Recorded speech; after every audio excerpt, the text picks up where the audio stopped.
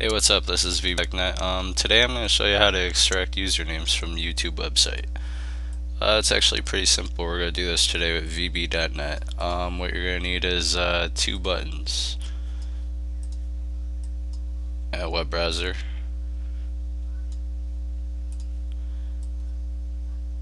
And let's go ahead and put a list box in there.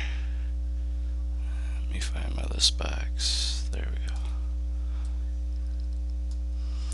Alright, first things first on form load, let's do web browser navigate and we're going to want to put it to YouTube browse website.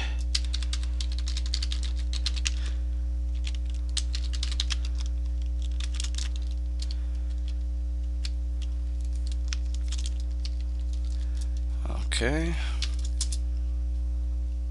Whoops, forgot my one. There we go. Alright. Okay, now let's go ahead and add two timers. I'm going to do it this way because I'm kind of tired and asleep, but there's many different ways you can go about doing this. Let's go ahead and set the interval of these timers uh, to 5,000 each. Okay. Alright, now let's go into button 1 here. And let's start the code.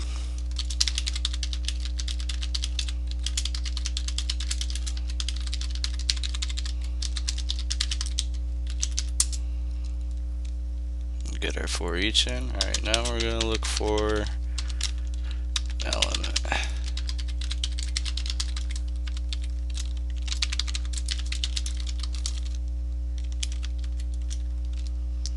Okay, this is looking for an element with the class name of video dash username.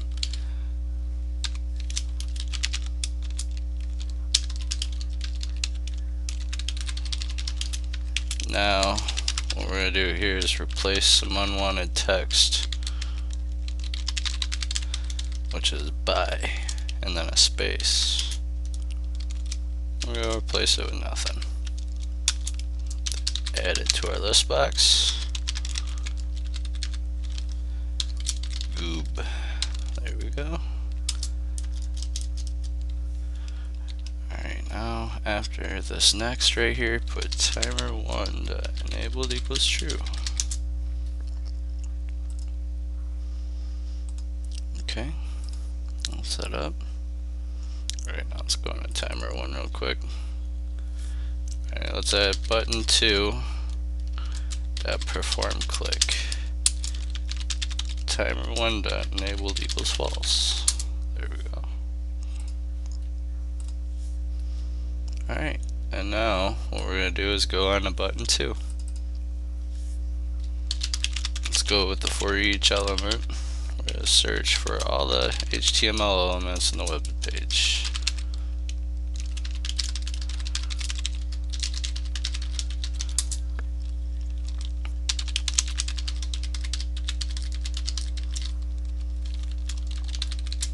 Now I'm doing here is searching for a class equaled yt dash uix dash pager dash link.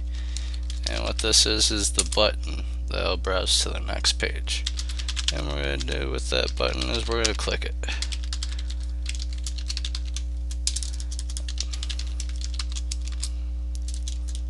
Alright, after we got the next page now we'll go ahead and do timer 2 that enabled equals true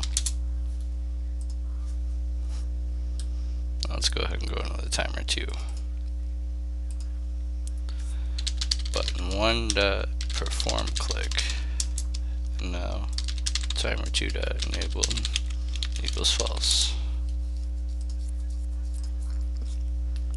Alright, and that should basically be it for extracting usernames from a browse website. Let me go ahead and make this a little bit bigger. We'll test it out make sure I got everything.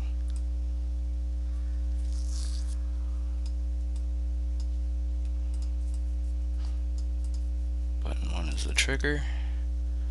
Make sure we got everything. Okay, let's test her out.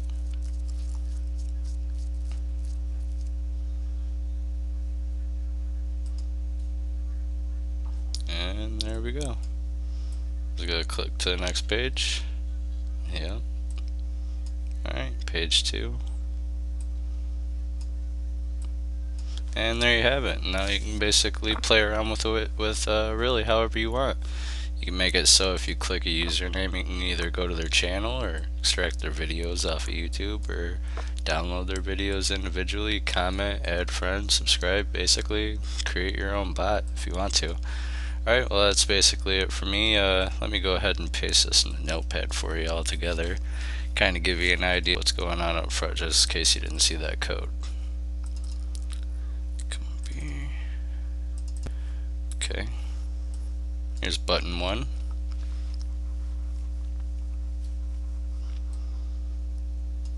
Form one load.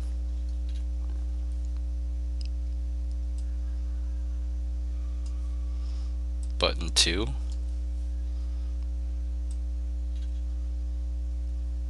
Timer two. And timer one. Alright, there you guys have it. Hopefully you enjoyed the video and I helped you out in some way. Alright, have a good day.